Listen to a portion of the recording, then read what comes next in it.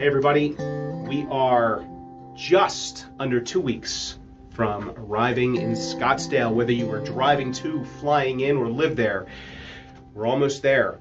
Uh, it's been two years since we've been together in person, one year since our amazing online experience last year, and um, I'm excited. I hope you are too.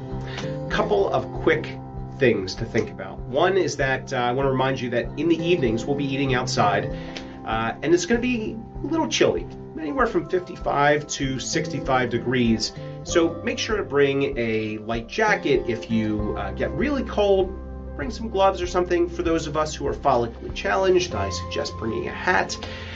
Um, but you know, your call.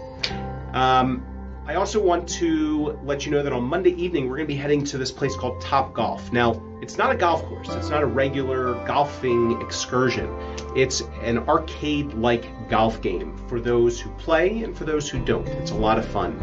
Uh, but if you're not interested in playing golf, you may be interested to know that we're also going to be doing karaoke in our own little private area at Top Golf, which I think will be uh, just a great way to spend the evening. So uh, if you haven't signed up to go to Top Golf, reconsider and, and head on over with us. Um, in the coming days, you'll also see some sign-ups for the dinner night out on our own. Uh, you'll be able to register for the restaurant of your choice, which I'm excited about as well.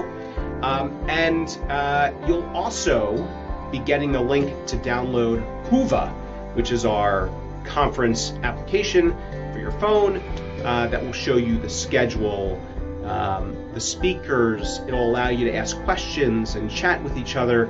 Uh, it's a great app that is is just going to give you an all-around opportunity to understand exactly what's happening in the conference. Uh, that application is almost completely done. Uh, everything has been uploaded. Mark Rothstein and David Lambden, are technology gurus, have put it all together, and I cannot be more thankful. Uh, so, coming days, I'll be sending out some more messages just to keep you up to date as to what's happening. Um, we can't wait to see you all. Can't wait to be together, and uh, I hope you're getting excited. See you in Scottsdale, where we will be together again.